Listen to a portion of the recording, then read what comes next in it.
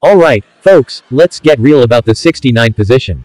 You know, that moment when you think you're being adventurous, but really you're just stuck in a human pretzel. Who decided this was a good idea? So, there we are, all excited, thinking we're about to elevate our game. I mean, who doesn't want to multitask during intimacy? It's like, hey babe, let's eat dinner and do the dishes at the same time. But once you're in it, suddenly it feels like trying to solve a Rubik's Cube blindfolded. I'm up there, upside down, thinking, did I stretch enough for this? It's like yoga gone wrong. Downward dog, takes on a whole new meaning. And don't even get me started on positioning. One minute you're confident, the next you're like, is that my knee in your face or a random limb from a horror movie? And then there's the coordination. It's a real dance, but I'm not sure what kind.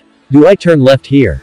Or maybe right? Should I spin? I mean, why don't they have a GPS for this? Recalculating, make a U-turn for optimal pleasure. Let's not forget about the sounds. Suddenly, you're not just having fun, you're trying to communicate like two old walkie-talkies. Can you hear me now? No. How about now? And just when you think you've got it down, you realize your partner's having a completely different experience. Is this pleasurable or just a comedy show?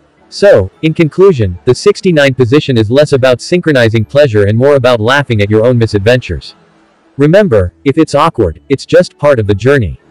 Thanks, like, comment, subscribe and share, because let's face it, sharing the awkwardness makes it way more fun.